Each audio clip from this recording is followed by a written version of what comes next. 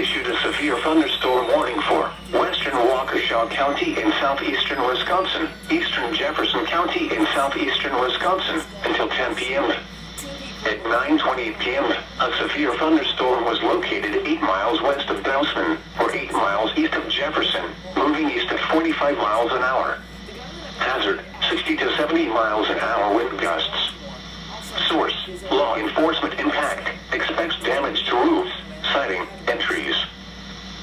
Locations impacted include Watertown, Hartland, Delafield, Wales, Okauchee Lake, Oconomowoc, Merton, Dousman, North Prairie, Lac La Belle, Ixonia, Rome, Nashotah, Hebron, Sullivan, Oconomowoc Lake, Chenequa, Mapleton, Stone Bank, and North Lake. For your protection, move to an interior room on the lowest floor of a